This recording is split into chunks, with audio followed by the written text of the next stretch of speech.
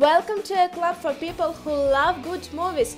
Use the links in the description to navigate the list of films quickly.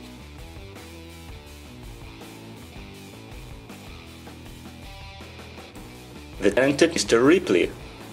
To be young and carefully amid the blue waters and idyllic landscape of sun-drenched Italy in the late 1915s, that's La Dolce Vita Tom Ripley craves and Dickie Greenleaf leads. When Dickie's father asks Tom to bring his arrogant playboy son back home to America, Dickie and his beautiful expatriate girlfriend, Madge Sherwood, never suspect the dangerous extremes to which Ripley will go to make their lifestyle his own. Unfaithful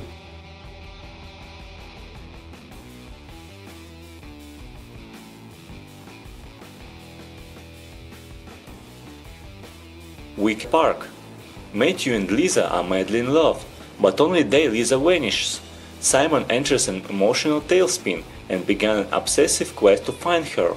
Years later, Simon's life has stabilized and he has a new relationship. Then he thinks he sees Lisa in a restaurant and fixates on her all over again. He snoops around and eventually tracks down the mysterious woman from the restaurant. Her name is Alex, but she acts just like Lisa. Vicky Cristina Barcelona.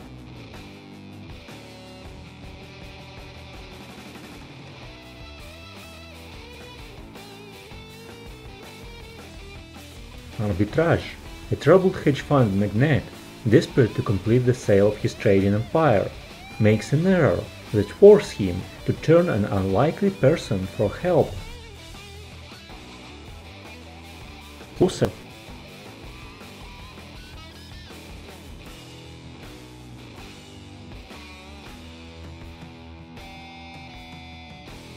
Fatal Attraction. For Dan Gallagher, life is good. He is one rising New York law firm, is happily married to his wife, Beth, and has a loving daughter. But after a casual fling with a salty book editor named Alex, everything changed. Jilted by Dan, Alex becomes unstable, her behavior escalating from aggressive pursuit to obsessive stalking. Dan realizes that his main problem is not hiding his affair, but rather saving himself and his family. Tell us in the comments which movies you think should be added to the list and share any other thoughts or suggestions you might have. Thanks and see you soon!